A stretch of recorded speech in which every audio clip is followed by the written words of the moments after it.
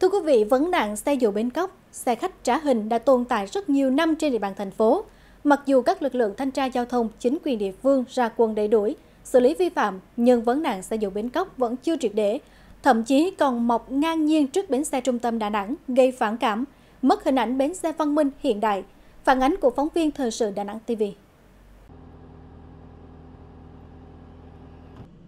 Những clip đón bắt khách dọc đường, dừng đổ xe xếp dỡ hàng hóa không đúng nơi quy định như thế này, được người dân ghi lại gửi cho cơ quan chức năng, được cho là thường xuyên xảy ra trên địa bàn phường Hòa Minh, quận Liên Chiểu.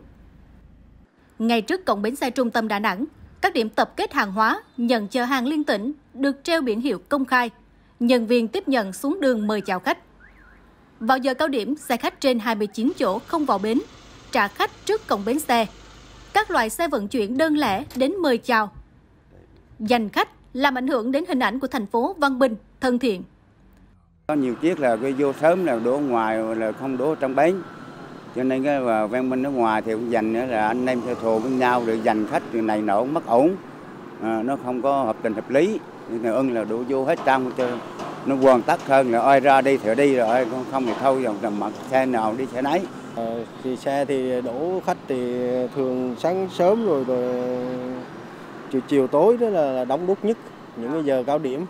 Thì giờ nó là rất là lộn xộn mọi người đông vừa là xe đổ rồi hàng hóa rồi xe thồ xe ôm rất là nhiều nữa chứ mọi người cũng thấy giao thông thì cũng rất là đông đúc sợ xảy ra tai nạn rồi ảnh hưởng đến chung của là bến bến xe và thành phố. Không chỉ riêng khu vực bến xe trung tâm thành phố, các tuyến đường gần khu vực bến, các lô đất trống ven đường thuộc hai phường giáp ranh Hòa An, quận Cẩm Lệ và Hòa Minh, quận Liên Chiểu, cũng được các nhà xe tận dụng làm nơi xếp dỡ hàng hóa. Nhiều doanh nghiệp vận tải thuê đất gần bến xe để làm văn phòng đại diện, đồng thời làm nơi đón trả khách nên tình hình trật tự an toàn giao thông càng thêm phức tạp. Nói chung là xe đậu đỏ là từ sáng đến chiều là đậu đỏ đây bắt khách chèo kéo khách nhiều. Còn xe về không vô bánh mà vẫn đổ khách ngồi đây làm như thế là mất trật tự của bến xe cho nên tôi yêu cầu cái là cố gắng làm ra bến xe cộng với là công an để duy trì được cái chung của bến xe để cho tình hình an ninh trật tự nó tốt hơn. Lãnh đạo thanh tra Sở Giao thông Vận tải thành phố cho biết trong thời gian qua, lực lượng này tăng cường xử lý các xe ô tô vi phạm quy định kinh doanh vận tải hành khách, luật giao thông đường bộ đối với xe hợp đồng. Tuy nhiên, theo quy định hiện hành về xử phạt vi phạm hành chính trong lĩnh vực giao thông đường bộ, đường sắt, một số hành vi vi phạm của phương tiện không thuộc thẩm quyền nên thanh tra giao thông kiến nghị chính quyền địa phương xử lý, không để tồn tại bến cóc, bến tạm. Riêng với xe dù cảnh sát giao thông thành phố cần xử lý nghiêm xe chạy chậm dưới tốc độ cho phép sau khi xuất bến, đi sai phần đường, dừng đổ khách không đúng nơi quy định, tranh giành khách gây mất trật tự an toàn giao thông, tăng cường phạt nguội qua hệ thống camera giám sát.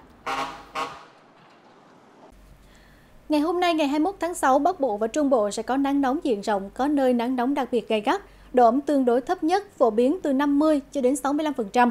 Ở khu vực từ Thanh Hóa cho đến Phú Yên có nắng nóng và nắng nóng gay gắt, có nơi đặc biệt gay gắt với nền nhiệt độ cao nhất phổ biến từ 36 cho đến 38 độ C, có nơi trên 39 độ C. Dự báo nắng nóng ở khu vực Bắc Bộ có khả năng kéo dài đến khoảng ngày 22 tháng 6. Ở khu vực từ Thanh Hóa cho đến Phú Yên, nắng nóng và nắng nóng gay gắt có khả năng kéo dài đến khoảng ngày 23 tháng 6. Từ ngày 24 tháng 6, nắng nóng có khả năng giảm dần. Trong những ngày nắng nóng, vào chiều tối ở Bắc Bộ và vùng núi khu vực Trung Bộ, có khả năng xuất hiện mưa dông kèm lốc, xét, mưa đá và gió giật mạnh.